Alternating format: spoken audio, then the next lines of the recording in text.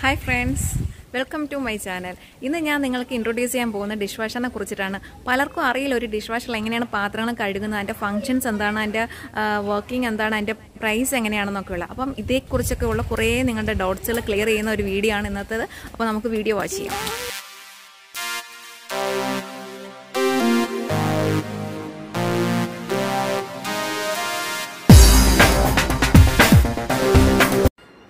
Dish washer അപ്പം ഞാൻ ഉപയോഗിക്കുന്നത് ബോഷിന്റെ ഡിഷ് വാഷറാണ് അഞ്ച് വർഷമായിട്ട് ഞാൻ ഇത് ഉപയോഗിക്കുന്നു. എനിക്കൊരു കുഴപ്പമില്ല. ഇത് നല്ലതായിട്ട് വർക്ക് ചെയ്യുന്നുണ്ട്. ഇപ്പം ഞാൻ ഇതിന്റെ അകവും കാണിച്ചു തരാം.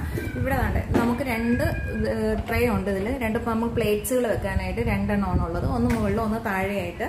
ഇതിൽ നമ്മൾ ഇവിടെ നമുക്ക് തന്നെ ഗ്ലാസ്സുകൾ വെക്കേണ്ട സ്ഥലമാണ് ഇവിടെ ഇങ്ങനെ. ഗ്ലാസ്സിൽ കമ്പനി അത് ഞാൻ പിന്നീട് പാത്രങ്ങൾ വെച്ച് നിങ്ങൾക്ക് കാണിച്ചു തരാം. ഇവിടെ പ്ലേറ്റ്സുകൾ വെക്കുന്നു. ഇവിടെ ചെറിയ പാത്രങ്ങളൊക്കെ വെക്കുന്നുണ്ട്. പിന്നെ ഇവിടെ സ്പൂൺ വെക്കാനുള്ള ഒരു ബാസ്ക്കറ്റ് ഇതിൽ എന്ന് പറഞ്ഞു കഴിഞ്ഞാൽ നമുക്ക് ചെറിയ നമ്മൾ ഈ ഐസ്ക്രീമിന്റെ സ്പൂൺ അല്ലെങ്കിൽ പിന്നെ ഈ പുട്ടൂറ്റിയുടെ ചില്ല അങ്ങനെയുള്ള സാധനങ്ങളൊക്കെ എന്ന് പറഞ്ഞു കഴിഞ്ഞാൽ ഇതിൽ ഇട്ടിട്ട് അടയ്ക്കണം. അതല്ലാത്ത പക്ഷേ ഇത് ഇതിൽ നിന്ന് ഈ ഹൈ പ്രഷറിൽ വാട്ടർ വരുന്ന സമയത്ത് ഇതെല്ലാം ജമ്പ് ചെയ്തിട്ട് ഇതിന്റെ ഇടയിൽ ഡ്രെയിനേജിലേക്ക് പോകുന്ന ആ ഒരു പൈപ്പിൽ ചെന്നിട്ട് അത് ബ്ലോക്ക് ആവാനുള്ള സാധ്യതയുണ്ട്. അപ്പോൾ നമ്മൾ ഈ ചെറിയ സാധനങ്ങളൊക്കെ ഉണ്ടെന്നുണ്ടെങ്കിൽ ഇതിനകത്ത് ഇട്ട് അടച്ചു വെക്കുകയാണ് ചെയ്യുന്നത്. പിന്നെ സ്പൂണുകൾ വെക്കാനാണ് ഇതുള്ളത്. ഇത് ഇത് നമുക്ക് കുറച്ച് ഹെവി ആയിട്ടുള്ള കടായി അതുപോലുള്ള സാധനങ്ങൾ വെക്കുന്നത് ഈ താഴത്തെ പോർഷനിലാണ് വെക്കുന്നത്. മുകളിൽ ഹെവി ആയിട്ടുള്ള സാധനങ്ങൾ വെക്കാറില്ല. ഇതിൽ രണ്ട് സ്പ്രേ ആംസ് ആണ് ഉള്ളത്. അതിപ്പോ പലർക്കും അറിയില്ല ഇത് എങ്ങനെയാണ്. ഇപ്പൊ വാഷിംഗ് മെഷീന്റെ ഒരു യൂസ് ഒക്കെ എല്ലാവർക്കും അറിയാം. പക്ഷെ ഒരു ഡിഷ് വാഷർ എങ്ങനെയാണ് വർക്ക് ചെയ്യുന്നത്? അതിനെ പറ്റിയിട്ടുള്ളതൊന്നും പലർക്കും അറിയില്ല. എന്നോട് ഞാനിപ്പോൾ അഞ്ചു വർഷം മുന്നേ ഇത് വാങ്ങിച്ച സമയത്ത് എന്നോട് ഒരാൾ ചോദിച്ചു ഇതിൽ പാത്രങ്ങളൊക്കെ വാരിയിട്ട് പിന്നെ പൗഡർ ഇട്ട് കൊടുത്താൽ മതിയോ എന്ന് ചോദിച്ചു. അപ്പോൾ നമ്മളിൽ ശരിക്കും പാത്രങ്ങൾ വാരി തുണികൾ വാരി ഇടുന്ന പോലെ പാത്രങ്ങൾ വാരി ഇടുകയല്ല ചെയ്യുന്നത്. ഓരോന്ന് വെച്ചു കൊടുക്കുകയാണ് ചെയ്യുന്നത്. അടിക്കുക ഇപ്പം ഇതാണ്ട് ഇതിൽ ഒന്ന് നാണ്ട് ഇവിടെ കാണുന്ന ഇത് ഇതാണ് സ്പ്രേ ആംസ് ഇത് ഒരു സ്പ്രേ ആംസ് ആണ്. ഇതിന്റെ അടിയിൽ വേറെ ഒരെണ്ണം കൂടിയുണ്ട്. ഡൗണിൽ കാണുന്ന സ്പ്രേ ആംസ് ഇത്.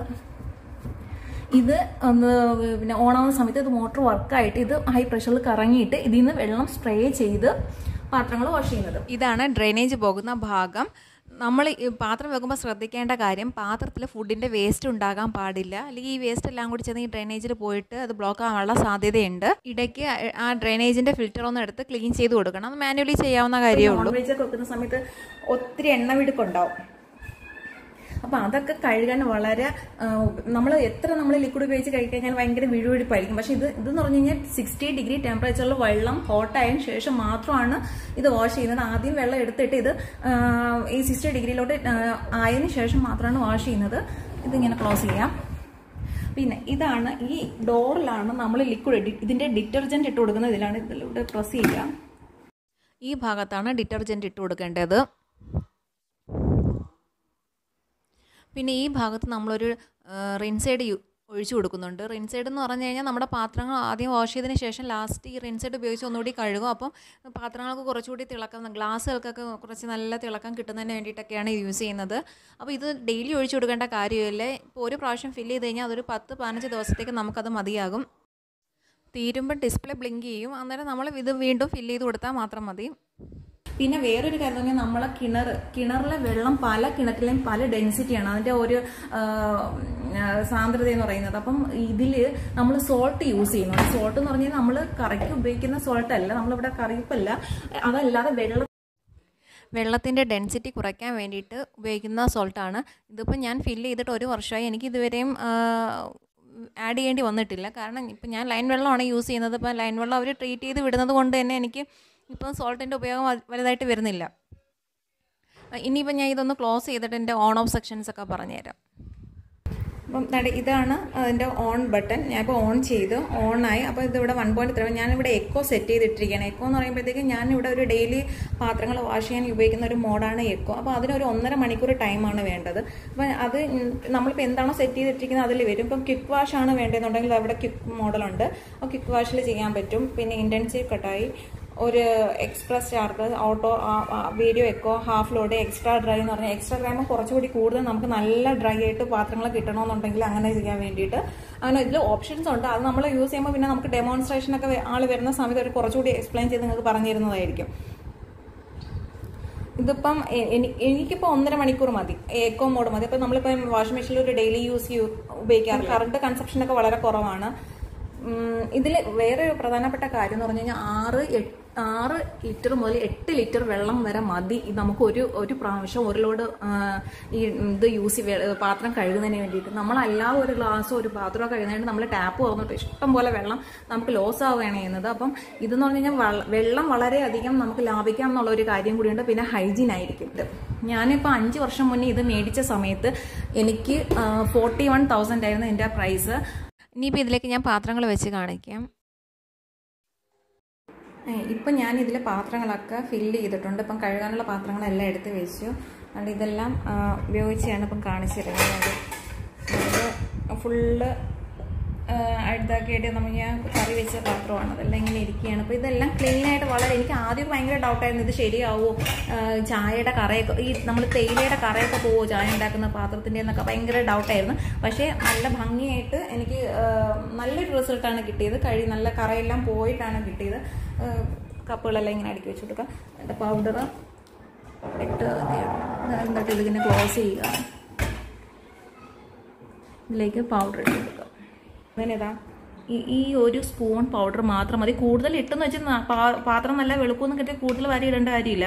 കാരണം കൂടുതൽ വരിയിട്ട് അത് മെഷീന് അത് ഡാമേജ് ആവേ ഉള്ളൂ.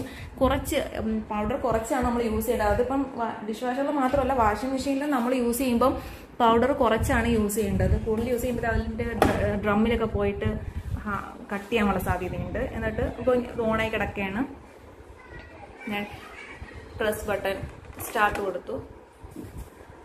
ഇതിപ്പം സ്റ്റാർട്ടായി.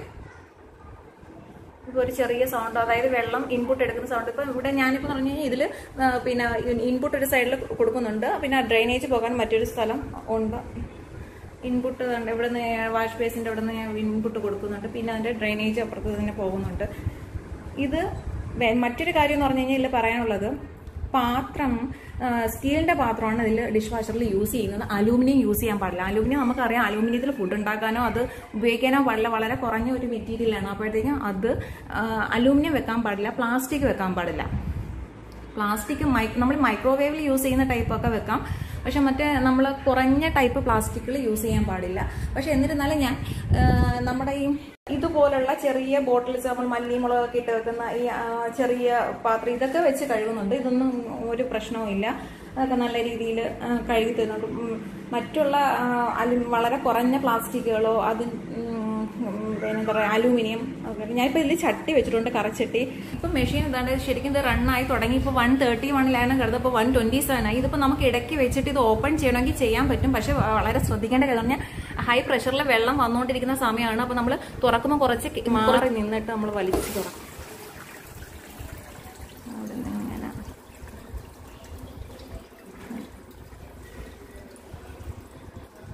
ജോലിക്ക് പോകുന്ന സ്ത്രീകൾക്കൊക്കെ ഇത് വളരെയധികം ഉപകാരമാണ്. വൈകുന്നേരം അവർ ഓഫീസിൽ നിന്ന് വന്നിട്ടൊക്കെ ആയിരിക്കും ബാക്കി പാത്രങ്ങളൊക്കെ കഴുകുന്നത്. ഇതിപ്പോൾ കഴുകി തീർന്നിട്ടുണ്ട്.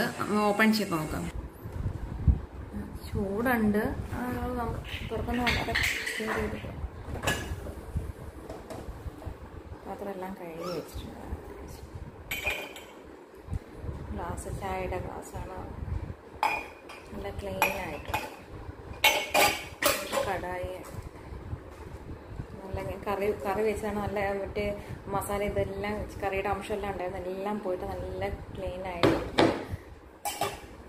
സ്റ്റീൽ പാത്രമൊക്കെ നല്ല ഇതായിട്ട്.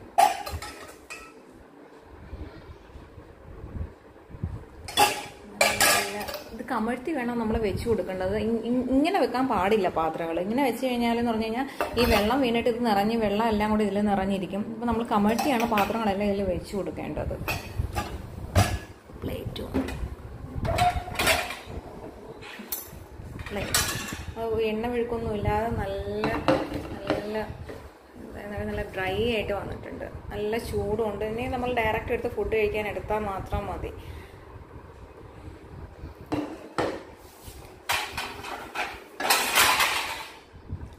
പ്ലേറ്റൊക്കെ നല്ല ക്ലീൻ ആയിട്ടുണ്ട്